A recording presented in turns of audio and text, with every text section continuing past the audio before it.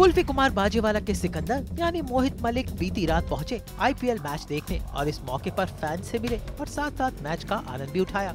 hello Mumbai आज मैं आ रहा हूँ वीवो आईपीएल मैच देखने with the winner of Star Plus देखो Vivo IPL job contest I am super excited for tonight's match it's Mumbai Indians versus Royal Challengers Bangalore last time गया था, बहुत मज़ा आया था